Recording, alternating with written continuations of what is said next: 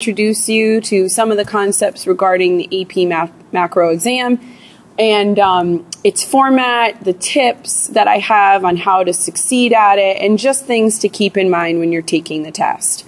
So, to start off, the test is in two sections. Uh, there is a multiple choice section. There are 60 multiple choice questions, of which you are given 70 minutes to complete that. Notice how you have more minutes than you have questions, and that's to give you insight into how long you should spend on each question, just over a minute. Secondly, the multiple choice question counts for about two thirds of the score. So, unlike some other APs that you might be taking, for example, in AP government, the multiple choice is only worth about 50%. This exam is a little bit different.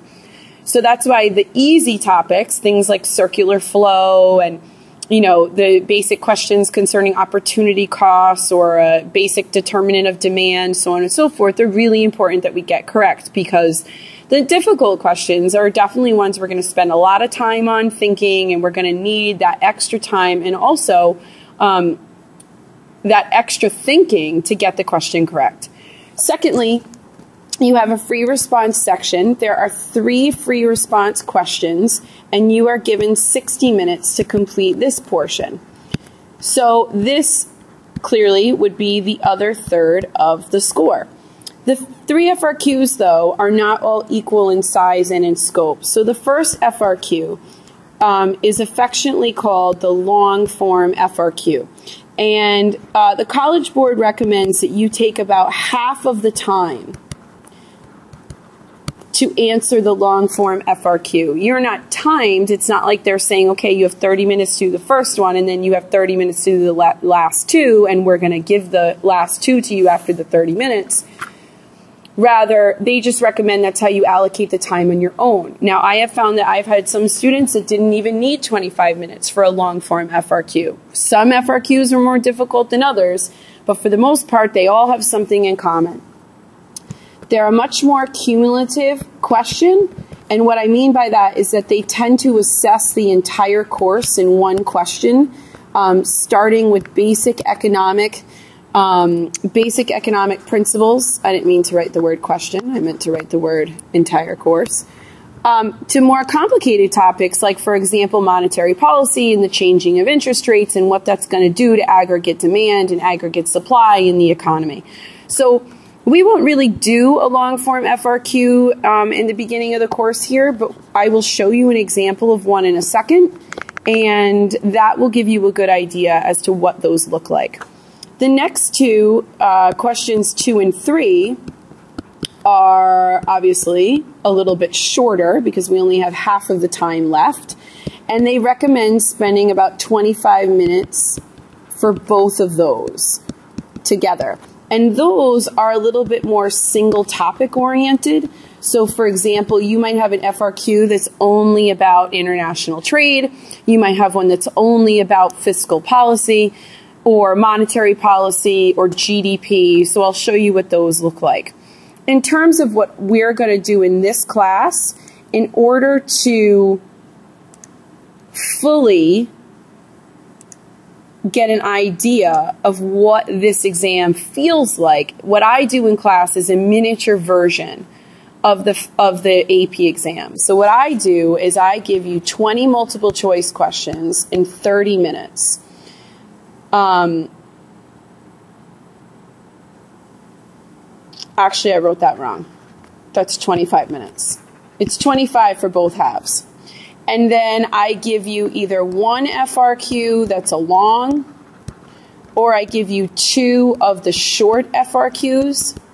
And that's what you guys are going to have on the first unit test because, again, we're not ready to do the long. And then I give you 25 minutes to do that.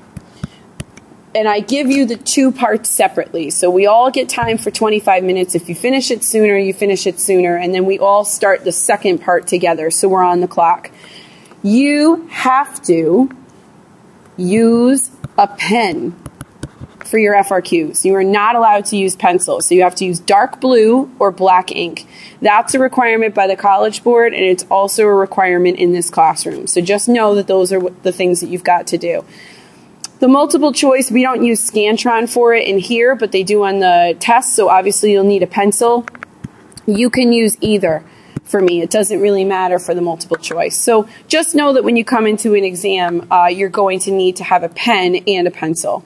So let me show you what some of these FRQs look like. So I'm going to exit out of this little show here. And I'm going to head on over to my Adobe and show you guys an example of a free response question. So these are from 2010. And um, you'll notice they've got sort of their College Board hoopla there. Something I want to point your attention to is that originally they used to have kids separating the time into two segments. So on old FRQs, you will see planning time 10 minutes, writing time 50 minutes. They actually got rid of that.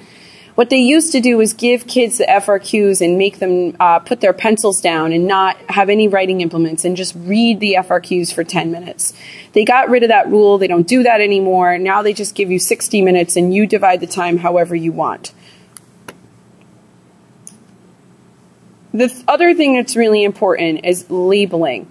And right here at the beginning in the directions, they explain the time allocation, but they also tell you that in answering your questions, you should emphasize the line of reasoning that generated your results. Unlike um, other courses and similar to math classes where you have to show all of your work, you want to use that method for AP Macro. Secondly, it says include correctly labeled diagrams. And this is really, really important because if you do a supply and demand graph and you are missing, for example, price on the y axis, then you're not going to get a point for that graph, whether the whole thing is correct with the exception of missing a label. So you want to be careful. And the thing that is might be frustrating to students is that I will be very nitpicky with that stuff in the classroom. So I want you to get in the habit of having high expectations. So that's what we do all the time. So just to give you an idea of what a long FRQ looks like, this is what we're talking about. So these are all the tasks that are involved. Um, I'm not going to go through this with you right now because there's no need for us to, but essentially what we've got here is a question that's going to bring us through many different concepts of the course. And you can see that there's a lot of little tasks to do here. And essentially, um, these FRQs are typically worth anywhere from 9 to 12 points. So they, they've got a lot of points here. Now, you'll see that the second FRQ, and let me just highlight it here for a second, is a lot shorter. And it's uh, interesting in this one, it's really about um, something that we'll learn about later in the class about the demand for money and something called the money market graph. So it's short, it's uh, mostly graphing involved here, and really just very basic answers. So if you just look at B, it says, given the interest rate change in part A, what will happen to bond prices in the short run? That has a very e simple answer the bond prices are either going to decrease or increase. That's all you have to write. You do not need to write a full sentence. You don't need to explain why. It doesn't ask you to explain. However, notice in the next one, giving the interest rate change in part A, what will happen to the price level in the short run?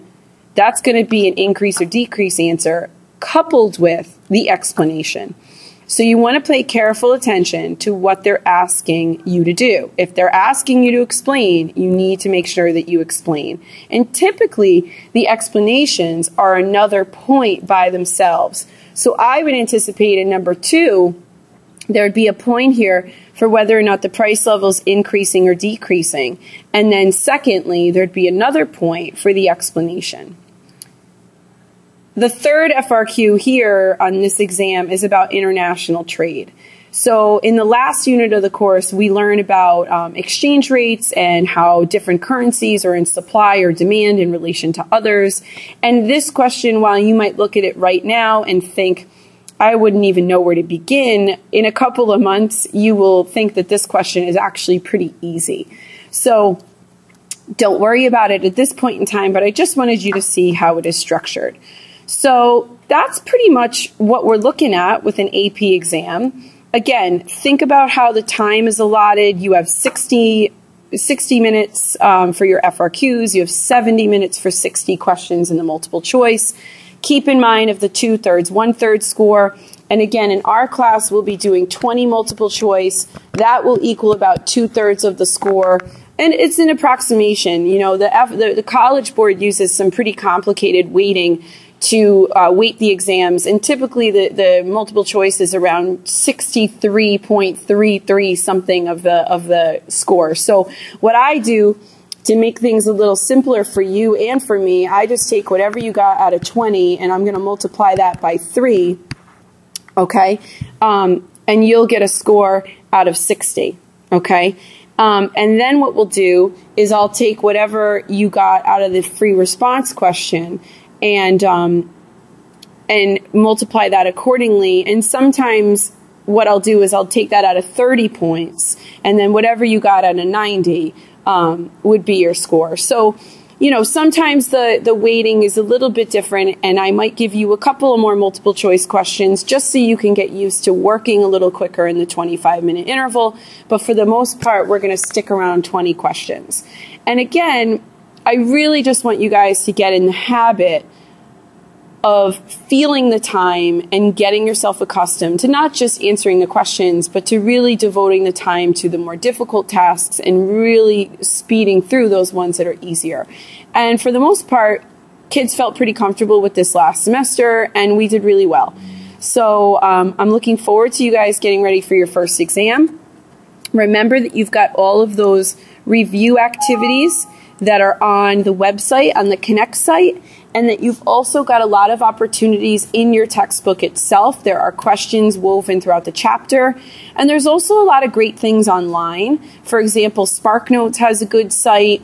Um, and also, there's a lot of videos out there. So, if you're somebody that's kind of sick of reading and you want to do a little bit of listening and watching, hop onto the Aspen page and take advantage of all of the videos that I have linked on there. So, for example, if I hop over to AP Macro, if I go to Unit 1, everything that's here, um, we've got review questions for Unit 1, and then there's a separate folders for videos. You guys might be familiar with that already. But lastly, there's also a folder called Online Study Links. And this has a ton of stuff that not only is um, will lead you to things group by topic, but also will bring you to things that are cumulative for the whole course. So I hope this was very helpful for you guys. And sorry I couldn't be in class today, but this was important information that we had to relay and touch base on. And hopefully this was understandable and we will be ready to roll when I see you next time.